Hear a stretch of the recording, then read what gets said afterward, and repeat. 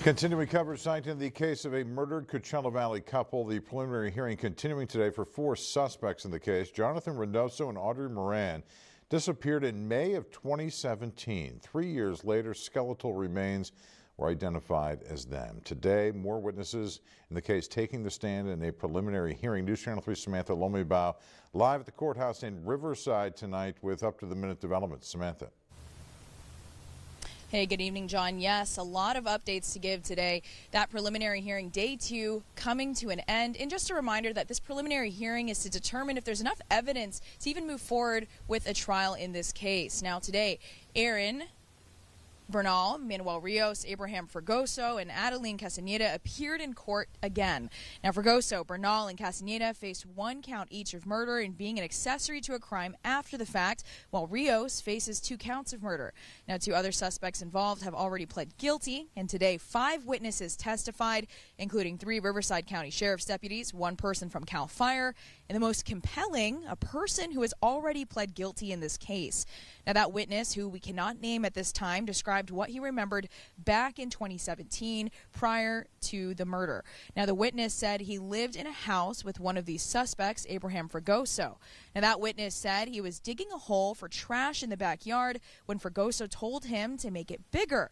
Cement was later poured into that hole, and about a week later, the witness said Rios and Fragoso told him, quote, there was an accident.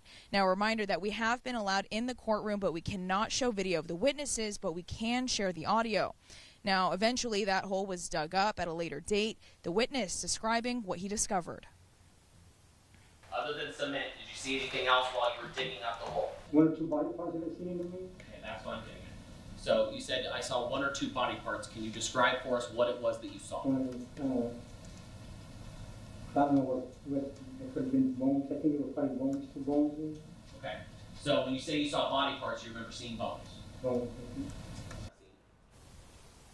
Now, the witness also said Adeline Castaneda told him there was a, dr- a drug deal that had gone bad. Now, it was unclear if Reynoso and Audrey Moran were involved in that. But the witness said Castaneda told him she gave Jonathan Reynoso CPR at some point and that someone had choked Audrey Moran. What did Adeline Castaneda tell you about that evening? Something happened at the house and he ended up, she ended up giving him CPR. Okay.